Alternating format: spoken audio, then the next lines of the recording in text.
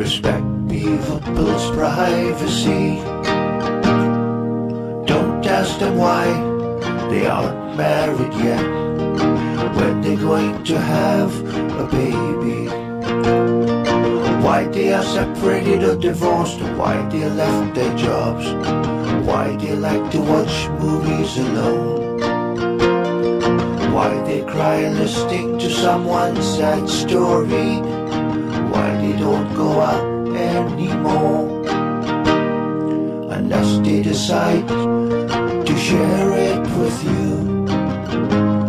It's none of your business.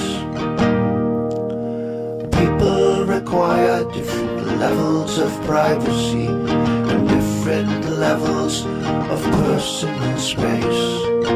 Not because not everyone is private some people do not need a lot of personal space.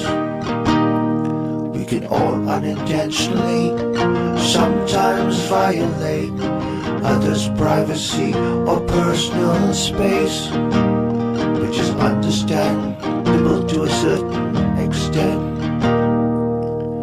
But if someone specifically asks you to give them their personal space or respect their privacy, it does not mean they don't trust you or they don't enjoy your company. It simply means they value their privacy and their personal space.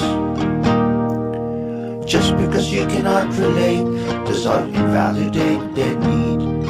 If you therefore insist on violating their will, after they explicitly tell you, then that simply means you do not respect them enough.